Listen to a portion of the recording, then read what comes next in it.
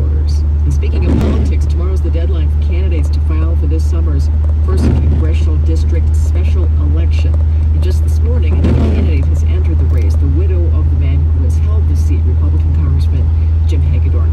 Jennifer Carnahan joins a large field. There will be two races for the seat this year, following last month's death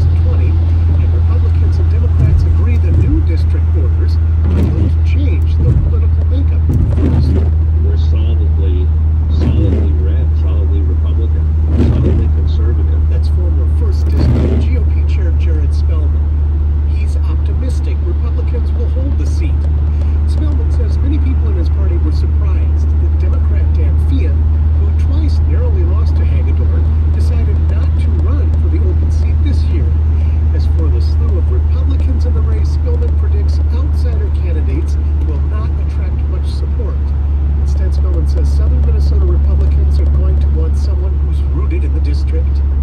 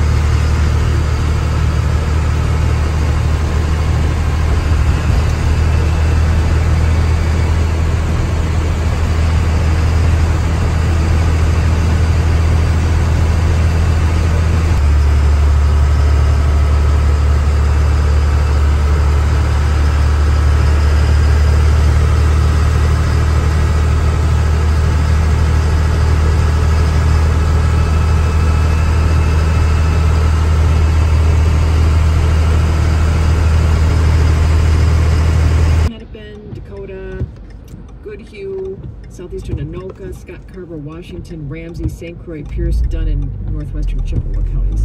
This is until until about uh, 10:15 this morning, so just be aware of that. The going could be kind of tough. This is MPR News 91.1 KNOW Minneapolis, St. Paul. We will see some sunshine though by the time this exits the region with a high of 38. Chris Farrell, what's on the program at 9 o'clock? Well, good morning to you, Kathy. And today we're going to talk about the war in Ukraine and what we can learn from Minnesotans who have lived through previous wars. We'll hear from a Ukrainian living in Minnesota. He is watching as the war destroys his homeland and threatens his family. We'll also talk with the president of Refugees International. He is just back from a trip to the Ukrainian border with Poland. Later in the hour, we'll be joined by two therapists who help people recover from war and torture. What can we learn about the effects of war from Minnesotans who have experienced it? And I want to hear from you. Have you or a family member lived through a war in your homeland? If you came to Minnesota as a refugee, how has it shaped your life here? And if you have close ties to Ukraine or Russia, what are you hearing from friends and family? The phone lines are open. Call us at 651 227.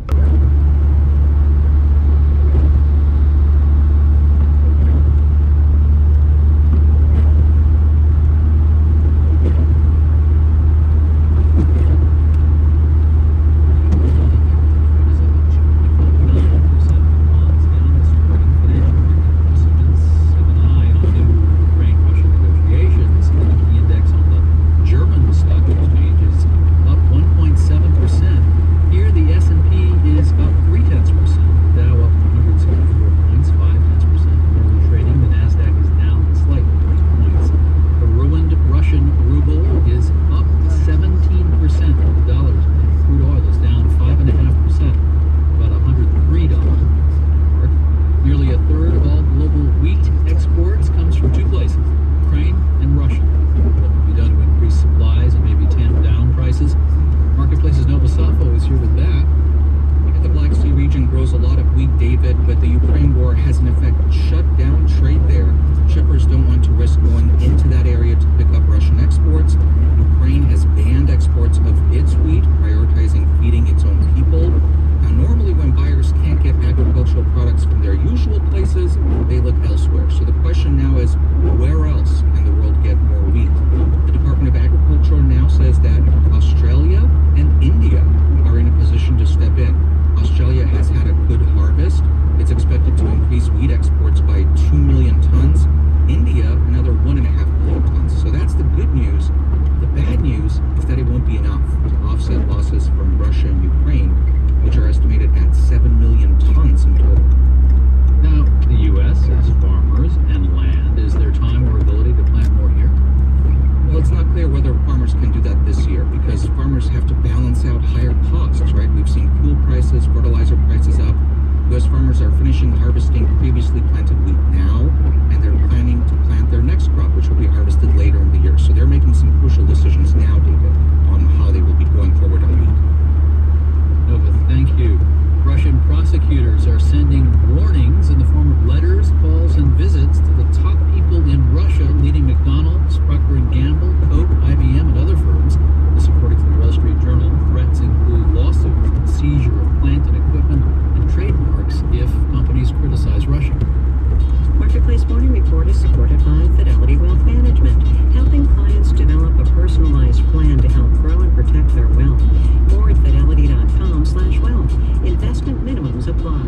Fidelity Brokerage Services, LLC. And by GEP, helping transform supply chains with strategy, services, and software, including GEP GEP Next, AI-based digital procurement, and supply chain platforms. State of Maine, a small population, has doubled its solar power capacity